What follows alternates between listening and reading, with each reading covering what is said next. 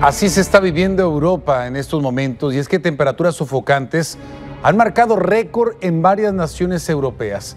Reino Unido rompió tres veces en un mismo día sus marcas históricas y llegó a los 40.3 grados y las autoridades han puesto al país en emergencia nacional.